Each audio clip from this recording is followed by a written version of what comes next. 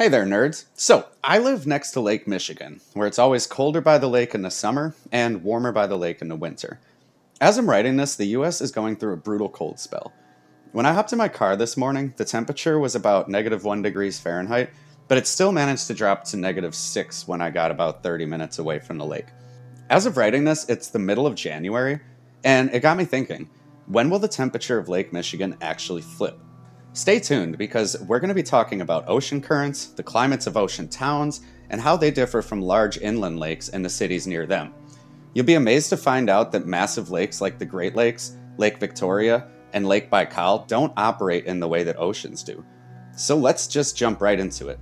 Large inland lakes, like Lake Michigan and its fellow Great Lakes, are fascinating because they act like mini oceans in some ways, but have their own quirks that make them unique. So, first, let's talk about why it's cooler by the lake in the summer and warmer by the lake in the winter. Large bodies of water have something called a high specific heat capacity. This means that water heats up and cools down much more slowly than land. And just as a fun caveat, this is the reason that there are more ice caps in the northern hemisphere, because there's more land. So in the summer, the lake is still shedding the coolness it held onto from the winter, acting like a giant air conditioner for the surrounding area. By wintertime, the lake is slow to release all of that summer heat, turning into a massive radiator that keeps the lakefront cozier, while areas further inland will freeze solid. It's basically like a nice little thermostat. But when does the lake itself flip? Well, this gets into the phenomenon of lake turnover, which is a crucial part of the story for any large lake. In the summer, the surface of the lake warms up. And because warm water is less dense, it floats on top of the colder, denser water below. The lake essentially separates into two layers the warm epilimnion on top and the cold hypolimnion below, with a boundary called the thermocline in between them. These layers stay pretty stable until the fall comes around. When the air temperatures drop in the fall, the surface water cools and it eventually becomes dense enough to sink. This triggers the lake itself to mix and it redistributes all the oxygen and nutrients throughout the water column, and this is a process known as fall turnover. The same thing happens in spring after winter ice melts and the water equalizes to a uniform temperature of about 4 degrees Celsius or 39 degrees Fahrenheit. That's the temperature where water is at its densest. So that's when spring turnover happens. So this flipping happens twice a year, in the spring and the fall. So, what about in the dead of winter like right now? Well, Lake Michigan's surface water is hovering near freezing, while the deeper layers remain a balmy 39 degrees Fahrenheit by comparison.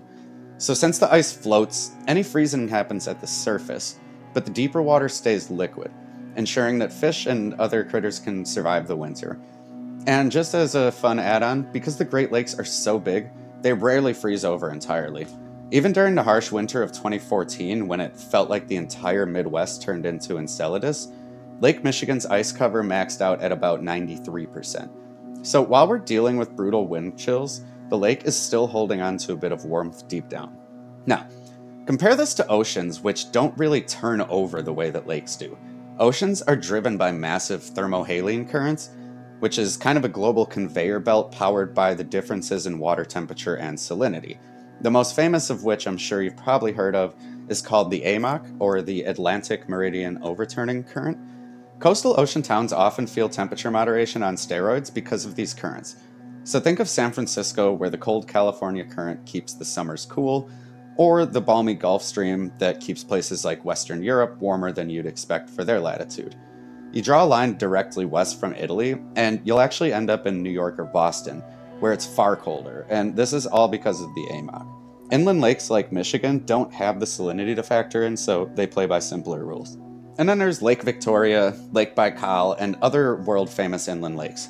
Lake Victoria, it's in tropical Africa, so it doesn't get the dramatic temperature swings of the Great Lakes because it's near to the equator, so the seasonal changes are more muted.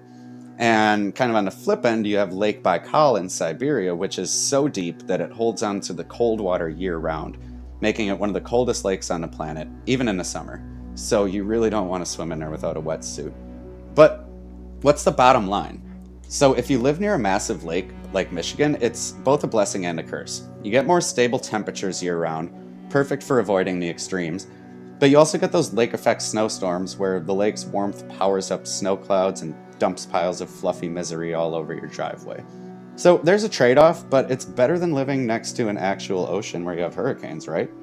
I don't know, it's certainly cheaper. So stick around because next we're going to break down lake effect snow and how these giant lakes act like snow factories. Spoiler alert if you thought the lake was done influencing your winter, think again. We're also going to get into how Europe's massive seas, like the Baltic and Caspian's heat exchanges work, and much, much more.